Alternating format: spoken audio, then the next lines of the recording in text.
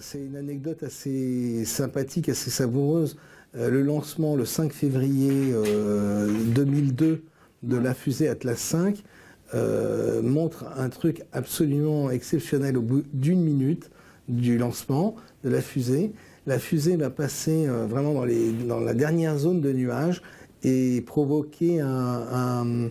alors, on dira qu'elle a traversé le mur du son mais en traversant le mur du son, il y a des effets euh, physiques dans l'atmosphère, euh, comme une pierre qui tomberait euh, dans l'eau et qui, et projetterait des ondes, si tu veux. Et le ciel va réagir comme un liquide. Et là, on a vraiment la sensation que cette, cette fusée Atlas 5, ce jour-là, a traversé, a crevé une membrane.